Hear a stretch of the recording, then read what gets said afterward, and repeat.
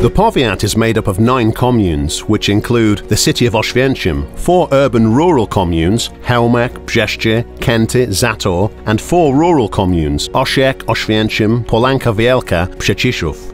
With about 155,000 inhabitants, it is one of the most populous districts of the Małopolska province. This small homeland, where modernity intertwines with tradition, draws on the richness of local culture. The heart of the district is its capital, Oświęcim, a proud city with over 800 years of history, one of the most important economic and cultural centres in Małopolska. It is here that the county office has its seat. Since November 2018, it has been managed by the Starost Marcin Niedziela, an entrepreneur and local government official from Kęty. He is supported in his daily duties by Deputy Councillor Paweł Kobielusz, a local government official associated with Oświęcim, a former athlete, and until recently a teacher and educator. Both gentlemen, supported by members of the County Council, take care of the comprehensive, sustainable development of the district and its inhabitants. Oświęcim County is an active player in the economic field. During the last 20 years, the expenditure from the county's budget exceeded 2 billion 566 million PLN. Thanks to this, and in cooperation with municipalities and with the use of government and European funds, key road routes, educational and sports facilities, cultural institutions, and medical facilities are being modernised. One of the most important long-term investments is the expansion of the Special Educational and Rearing Centre in Oświęcim, where children and young people with special educational needs will soon be able to learn and be rehabilitated in comfortable conditions.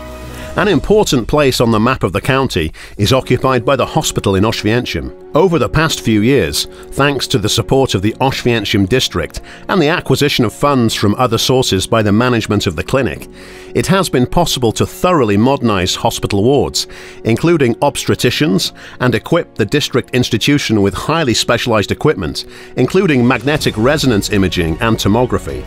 Schools are the pride of the Oświęcim county. The high standard of teaching goes hand in hand with the comprehensive modernisation of school buildings, including their thermal modernisation. On a daily basis, students use modern scientific aids, and young people educated in sports classes train in functional facilities, such as the Oświęcim swimming pool, expanded by the local government or the nearby ice hall.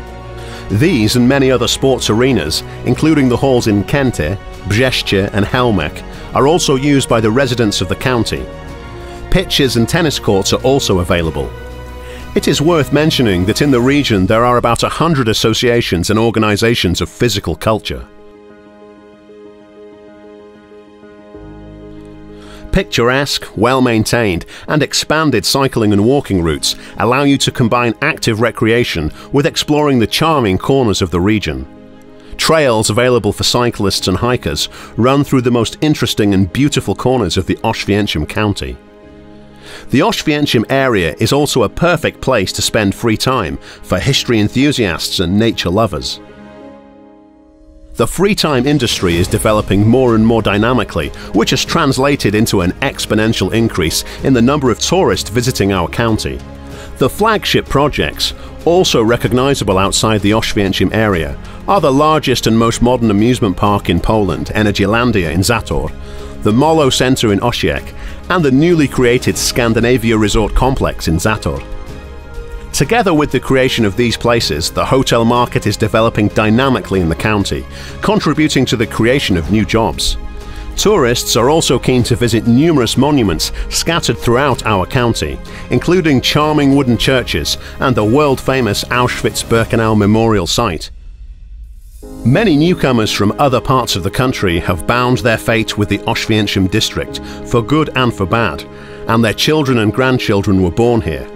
It is a region full of people proud of the interesting history of this place and its unmistakable tradition, optimistically looking to the future. It is our small homeland, the most important place and point of reference in a dynamically changing world.